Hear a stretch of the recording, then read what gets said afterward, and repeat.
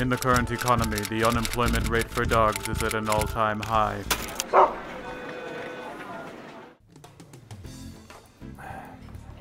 So which position are you applying for? Pizza delivery? Yeah, we filled that position. We're hiring chefs. I've never cooked anything before. That doesn't matter. You have hands, don't you? Paws, technically. Whatever. I'm just looking for a summer job. I said that 13 years ago. What's the pay? Minimum wage, maximum taxes. That's lame. Tell me about it.